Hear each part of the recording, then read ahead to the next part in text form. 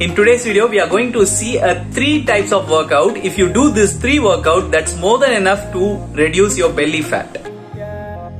So the first workout is leg raise, side ankle touch. So when you're doing this, make sure your knee should be uh, above your hip level and when you are touching it make sure that you are touching your back ankle in this major muscle working is glute muscle quad muscles hamstring muscles external oblique muscles. That is your ab muscles works in this.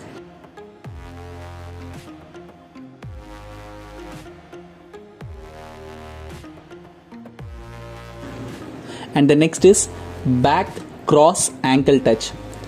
So when you're doing this make sure one leg supposed to be back to your another leg and slightly bend your knee with your both your arms. You have to touch your ankle when you're doing this your oblique muscles will work a lot major muscle is only for your oblique